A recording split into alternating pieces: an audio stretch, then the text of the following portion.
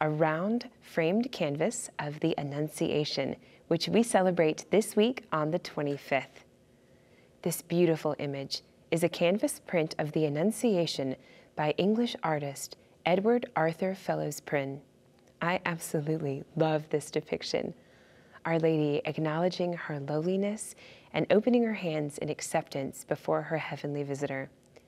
The threads of cloud enveloping her as the angel Gabriel intently listens for her response. A scroll with the words, Hail Mary, full of grace, the Lord is with you, in Latin, unfurls from the angel. It's framed in an equally stunning round gold wood frame that's surprisingly lightweight as well. It measures approximately 12 and a half inches in diameter and the frame is one inch deep. The artwork is made in the USA.